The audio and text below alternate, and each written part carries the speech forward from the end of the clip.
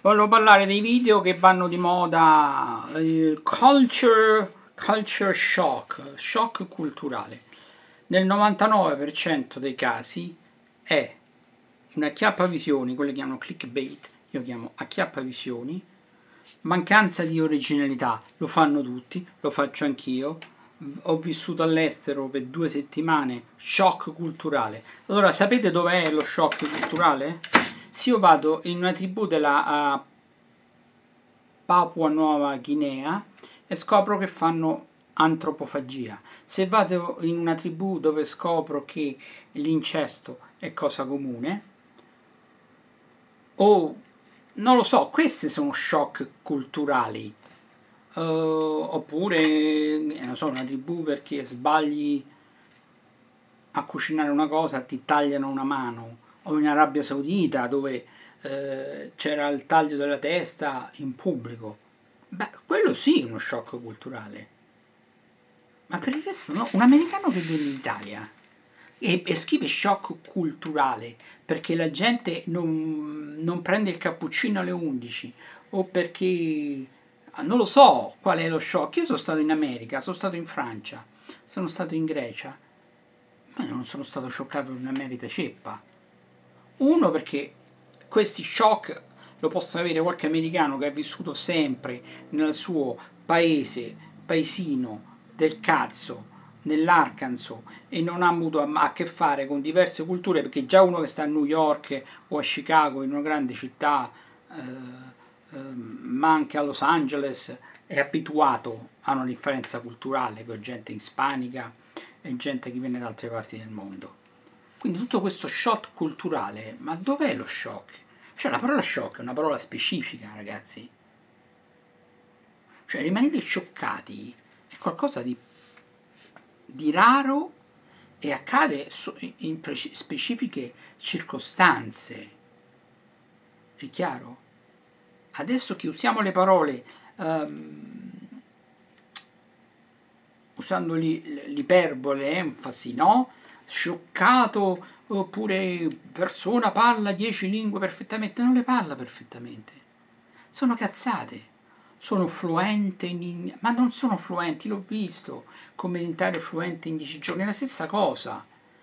Se, se, va di moda dire queste cose qui, ma ripeto, io... Ecco, uno che pure al contrario che è vissuto in un villaggio africano, non avendo contatto con nessuno, e viene paracadutato al centro di Mosca è uno shock culturale. O viceversa. Ma adesso poi oltretutto viviamo proprio anche a causa di questi video. Sappiamo mediamente qual è la vita basta vedere diversi video di gente comune avete una vaga idea ok poi ovviamente non è esattamente la stessa idea come andare sul posto, però se io vado in Spagna so che mangiano alle 9 o alle 9 e mezza, alle 10 di sera la cena, uh, se so vado al nord, più vado al nord, più la cena è alle 7, alle 6 e mezza, alle 6. Non è uno shock, ragazzi. Qual è lo shock? Vai negli Stati Uniti, la gente si ubriaca o anche nelle cene fra amici, in Italia non è, non è comune, ma rimanere scioccati. Se io vado in un posto, che ne so, vado in un paese, non ce l'ho, paese, guarda, ehm, se vai a cena con gli amici, ehm, ti invitano a casa di qualcuno, il padrone di casa eh, esige che tu gli faccia un bocchino come? Eh, beh, è così, eh, se no, beh, quello sì sarebbe uno shock.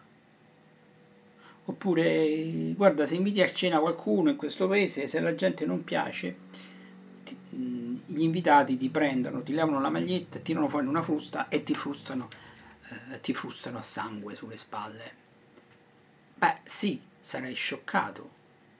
Per il resto, ragazzi, sciocco scioccato, cioè gli sciocchi si scioccano e gli stupidi si stupiscono. Quella è l'origine poi anche etimologi- etimologica.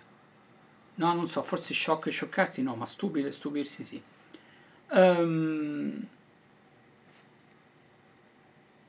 e quello è, cioè io vedo questi video sono scioccato uh, che ne so eh,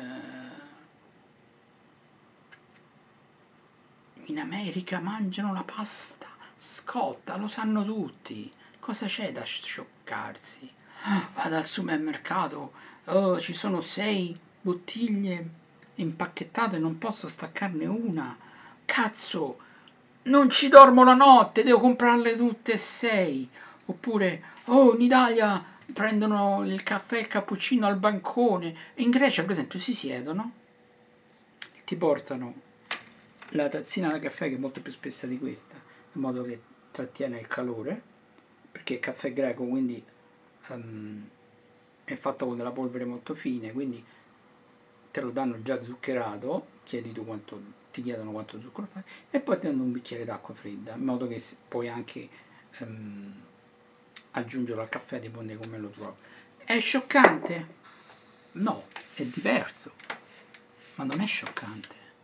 In Turchia danno il tè in queste tazzine, bicchieri molto lunghi, trasparenti, con poco tè. È scioccante? No, è cose turche, diciamo. Ma eh, per il resto, ma, ma, ma, di cosa stiamo parlando? Di minchiate. E questo è... Scioccatevi. Questo è l'unico video che... Eh, questo è buon senso, non è niente di particolare, non è che mi sono inventato l'acqua calda.